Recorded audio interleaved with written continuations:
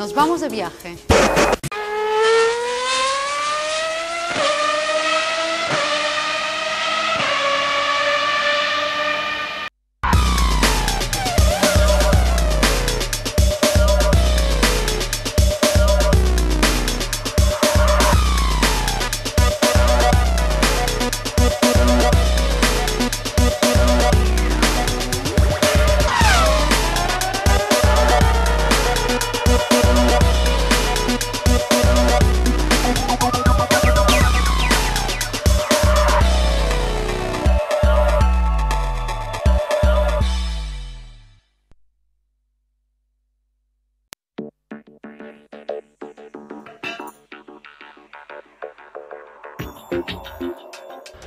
The most important was the one in 2000. After five years of trying and being very close to it and not achieving it, uh, finally in 2000 to do it uh, was a big relief and success to all of us.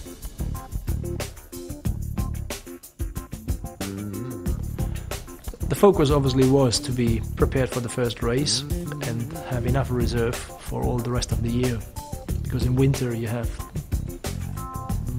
plenty of time to, to work out and to prepare yourself, which during the season, once testing uh, starts and racing starts, traveling is going on, uh, sometimes you, you sort of lack a little bit of time availability for your, your workout.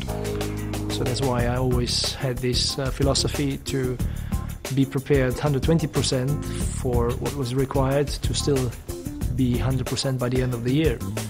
And that meant naturally about uh, four to five hours a day of, of uh, working out, a session in, in the morning and, and, a session in the afternoon. Um, it's very different though from driver to driver and even from for personal satisfaction. I guess even doing two or three hours would have been enough uh, for, for some people if you can maintain uh, and if maybe these things don't go wrong. But these extra strengths that I always had and uh, it sort of allowed me to, to do sometimes things that uh, didn't seem maybe possible.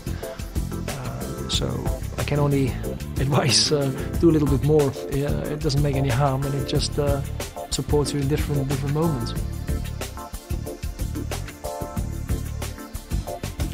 I always liked Spa. Spa I call my living room, kind of, because uh, I've done my first Grand Prix, I won my first race. I won my last championship, uh, and I happened many other things uh, in the meantime. It's uh, another track that I, I, rate very highly, which is uh, in Japan, Suzuka, which is technically very uh, very high. So it's uh, these two tracks that I enjoy most. I mean, mostly I love to have around my wife, in just be because of I felt very comfortable and was happy to, to have a social contact. But I have anyway lots of social contact because in the team itself, it was uh, over all the years, it was many friends uh, that been around. Mental preparation, no, I never really did except uh, sleep a little bit before the race, just to relax and, and, and feel refreshed before you finally go to the race. The only th- sad thing which which happened obviously in 94 was the the death of Ayrton Senna which obviously was a big tragedy. And it would have been great to have him around for longer because he was at the time the master of uh, of the game and to to fight him uh, was uh, great satisfaction. So otherwise I guess I, I have raced everybody that, that I sort of know or, or still happens to be around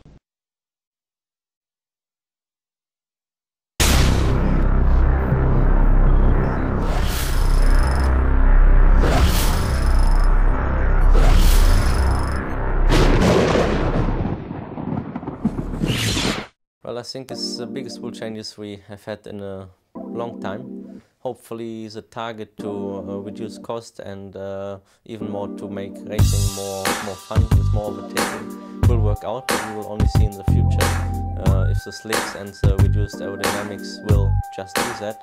Uh, we're just presenting our new car here, so let's see how it goes.